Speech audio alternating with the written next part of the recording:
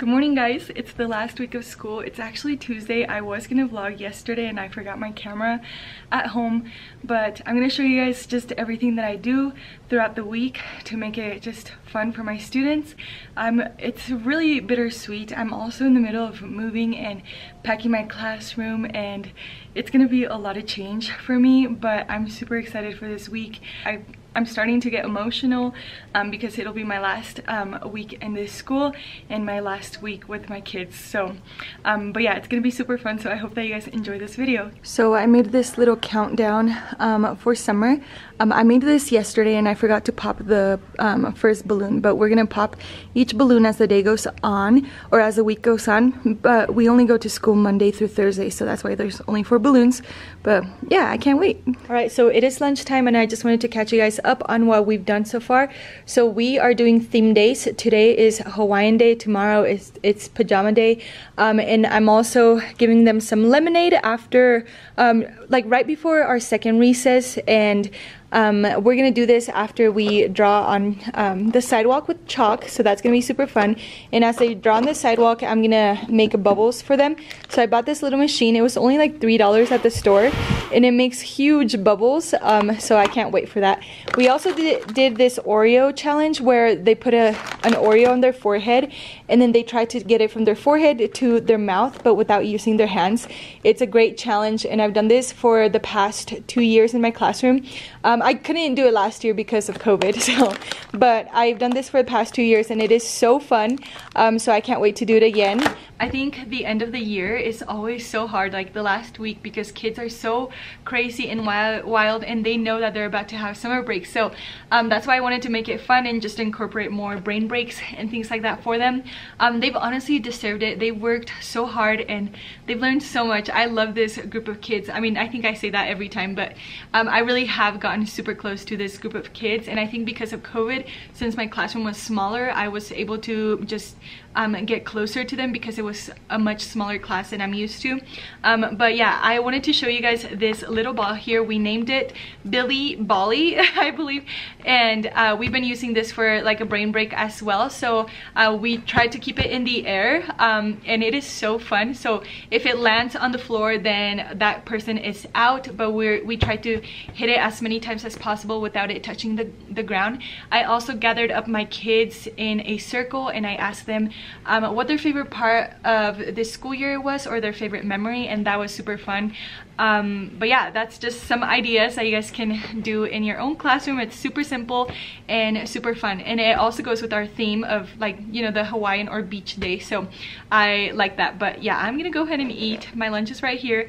I need to eat super fast because it's already past, oh my gosh, I only have like 15 minutes to eat um, that's because I've been talking to you and I've been setting some things up. So I'll talk to you guys later, but it is so fun so far. I really do love this week. I think we're gonna have a lot of fun. On Thursday, we're gonna do field day. So I can't wait for that because usually I get to compete against my students and that's super fun. You guys, one of my students gave me this bracelet and I love it so much. It's beautiful. Oh my gosh. Look at how pretty. I'm gonna wear it all week. Alright guys, so a little update on how today is going. It's been really fun. Um, we just got back from, um, well not too long ago, we got back from recess and before that we were doing the chalk drawing. Um, as well as the bubbles and the lemonade. Um, one thing I'm like reflecting right now, one thing I would have done different is um, I would have had them drink their lemonade here because it was windy and some of them threw their lemonade and made a mess. So and then their cups were going everywhere. So i'm like okay you need to stack them and yeah so that's one thing i would do different. But other than that it worked out really good. Um the bubbles were hard because it was windy but uh, let me show you guys. I can't remember if i showed you guys but here's the little bubble maker. It was only 2.99 and that was pretty cool. Um, I'm glad that we got to do bubbles even though it didn't work out as well because, um, or as well as I thought it would because of the wind. But um, yeah, so it's been super fun. I did want to share with you guys this letter that I just got from a fifth grader. So I had her two years ago, almost three years ago, which is crazy. And um, she's so cute. She said it was actually totally unexpected. She came to my room and dropped this off and it says dear miss baca i appreciate what you did uh, what you did and taught me in third grade. Your class was probably the funnest oh one thing i think about is how when i write an and symbol i write it like a plus sign because that's how you wrote it. I liked how um, you were always nice to me and did a lot of fun stuff. So i just wanted to say thank you.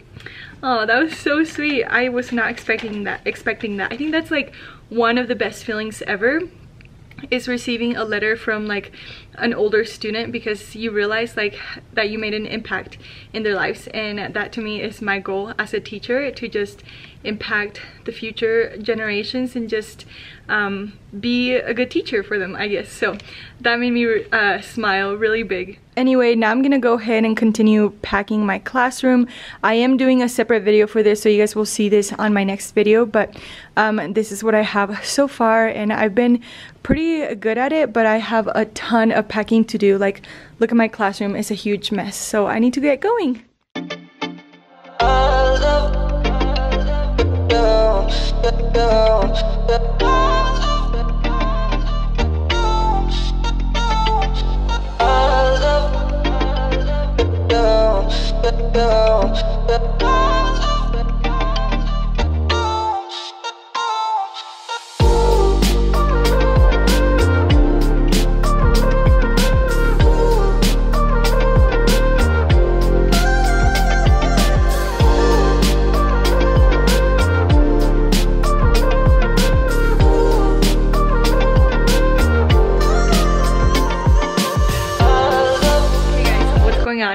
Chilling. I honestly am exhausted today after today. Um, it was just a wild day, so I'm just chilling. Um, I didn't get to vlog a whole lot in my classroom, so I'm sorry. I was a little late for uh, my morning meeting and then that just like set me off for the rest of the day. Like it's so weird how that happens, but um, I just wanted to catch you guys up on the fun activities that we did today. So the first thing that we did was the drop egg drop challenge and that was so fun. I just saw my kids just be so creative and it was like just amazing to see like um the I guess their approach to like protecting their little egg before we dropped it. And unfortunately none of the eggs survived. They all cracked which is okay. I mean i was expecting it to happen. And also they're third graders so um, i knew that like their their uh, plan to protect it wasn't going to be as elaborate as like a middle schooler? I don't know. I've never done this before with third graders or actually at all. So i was still really fascinated by um, the way my students worked with it. Then the next thing that we did is we had a movie day. So um, we watched Bridge to Terabithia because that was one of our um, read out loud books and so we got to watch the movie now and that was really fun. I wasn't really expecting to watch a movie, but my kids, oh my gosh, I seriously tried to make this day or like this week as normal as possible. And then I realized yesterday at the end of the day, the day, they are already checked out. They are already on summer mode. So I was like, okay, let's just watch a movie tomorrow. And then we had pajama day, of course, so that was really fun. And then, let's see, we also had summer birthdays. Um, that was also really fun, and I'm glad that we got to celebrate those kids whose birthdays are in the summer because I feel like um, that would suck as a kid to like never have your birthday celebrated at school um, because your birthday's on in the summer. So yeah, we did that and then we did awards nominations because I do class superlatives at the end of the um, year on Thursdays. So tomorrow I'm gonna do this award ceremony where I'm gonna um, just nominate or just I guess um, elect like most likely to be president, most likely to win the lottery, best smile, best hair, um, things like that because I think it's like super fun. And I've done that ever since my first year of teaching and that works so well. Like I seriously love doing that. I did it through Canva last year because it was like or sorry it was like virtual. But this year I had the templates the templates still from Canva. So I'm just reusing them and I'm just like changing things around. Obviously like the name and the picture and stuff like that and yeah so i'll show you guys how i did that. Like i'll give you guys like a little recap on what those are gonna look like. And then other than that let's see we also did compliments for um, each other. So like we wrote everyone compliments and then put them in like brown paper bags and then I'm gonna include those compliments tomorrow for the um, awards ceremony. So yeah, that's what we did and I'm excited because tomorrow's the last day. I'm definitely gonna have to be wearing waterproof mascara because I just know I'm gonna cry. This happens to me all the time. Like I just cry so much the last day of school just because I realized, wow, like I'm not gonna have these kids anymore. I'm probably not gonna see some of them like ever again and it's just it just breaks my heart because we get so close to them and um yeah i'm i just had so much fun with them this year and i hope that they just take a lot from me. Um we learned a lot and i'm just so proud of them seriously. Like kids are so like sponges and like just seeing them learn and seeing them get it like it's just the best feeling in the world. And so that's why i love being a teacher. Um but yeah i'm gonna go ahead and catch you guys up tomorrow on like just what happens what goes on. Tomorrow's field day so that should be fun. Um, right now i am gonna um, get ready for dinner with a friend and then i'm gonna head to the store because i need to buy a couple of gifts for some of the staff that i just got really close to and then i'm just really gonna miss. So i'm gonna do that and i will see you guys in the morning. All right guys so it's the last day of school. I brought my waterproof mascara. I'm so sad. My kids are um right now in exploratory and after that we are gonna do our uh, slideshow our awards ceremony and then we're gonna do uh, market day. So I'm gonna go ahead and show you guys what that looks like. I'm so sad. I'm getting I'm starting to get emotional because I only have um, about an hour or so with my students and then they're gone forever. Here is what the market day looks like. So I'm gonna have my students just get out all of the money that they have saved from the school year fake money of course. And um, this is from our classroom economy and then I'm just gonna sell all these things. Hopefully they all go. If not I'll raffle them at the end. Um, of course I had to um, include the Mexican candy because my students love Mexican candy. So um, it's gonna be cool. And I got these fidget toys from um, Amazon so I can link those down below for you guys um, this is part of their gift I actually forgot the other half so I'm super sad. I am gonna work tomorrow though, so I think um, I'm gonna have some students pick up their gift if they would like. it's optional, but hopefully they do come because I'm so sad. Um, I had this whole like gift put together for them and then I just ended up forgetting. But So I wanted to show you guys really quick as well what I did for the parents. So usually I have them come into the classroom and watch the um, class slideshow um, with just like a bunch of pictures and videos um, that I just compiled throughout the year.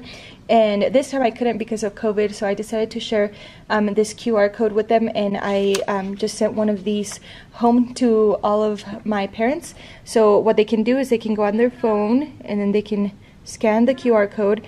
Then it'll take them on YouTube. I just put it as an unlisted video and actually this video takes you straight to one of my personal videos. I was just showing you guys an example but it should be really cool because it's an unlisted video so only the parents and i can see it which is really awesome and i hope that they enjoy it. And then here's an example of a classroom superlative award that i'm going to be awarding best attitude and most likely to become a video game designer.